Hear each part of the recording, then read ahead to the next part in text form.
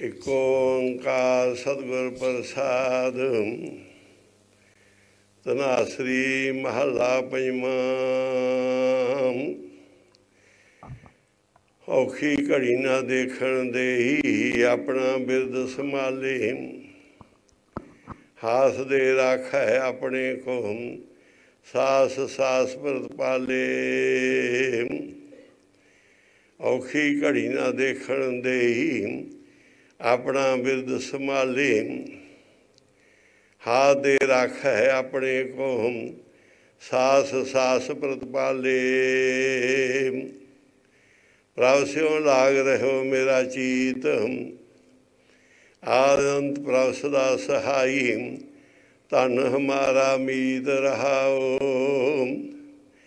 ਮਨ ਬਿਲਾਸ ਭੈ ਸਾਹਿਬ ਕੇ। ਅਜਰਜ ਦੇਖ ਵਡਾਈ। ਹਰ ਸਿਮਰ ਸਿਮਰ ਆਨੰਦ ਕਰ ਨਾਨਕ, ਪ੍ਰਭ ਪੂਰਨ ਪੈਜ ਰਖਾਈ।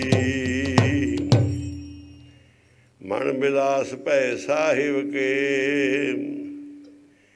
ਅਜਰਜ ਦੇਖ ਵਡਾਈ।